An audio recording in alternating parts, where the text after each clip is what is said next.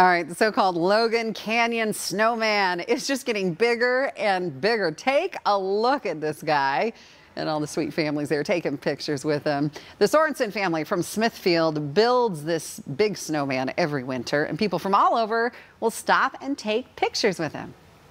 It's the biggest snowman I've ever seen, and who took the time? Look at the size. Get, Even the bottom is like two cars. I wouldn't want to know how much it weighed. the family says the snowman is about 22 feet tall and 35 feet around the bottom. It's quite the circumference he's got going on and growing by the day.